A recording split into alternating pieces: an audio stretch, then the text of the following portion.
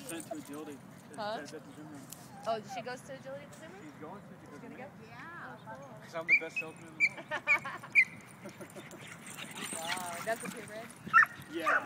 Pretty close. Really neat. And then, you know.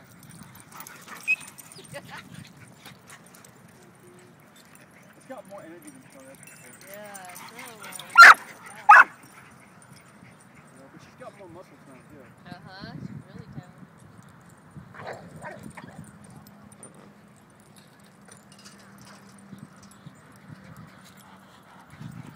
See, now! Tired. That's usually what happens. We'll walk around for a little bit and then find Sophie on the side of the fence and I go.